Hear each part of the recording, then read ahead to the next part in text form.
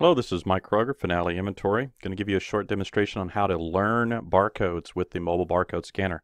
The purpose of learning a barcode would be to associate uh, maybe a manufacturer or UPC code that is already on uh, the products that you carry or stock and associate that with the product ID that's in Finale. So if we were to look at like a product list in this demo account here, we've got all kinds of products here, but like PID1, PID2, and PID3, well, we'd want to maybe associate a UPC barcode to that item.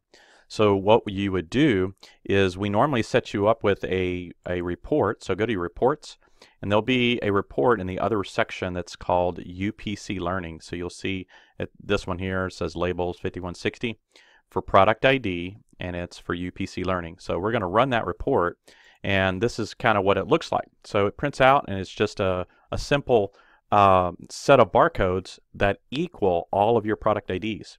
So for instance, if we wanted to associate here on the screen a UPC with the, let's say, product ID 1, then that's the barcode we'd want to scan in the learning process. So let's take a look at the learning process. I'm going to bring up the camera here and kind of show you. So what we have is we've got the mobile barcode scanner.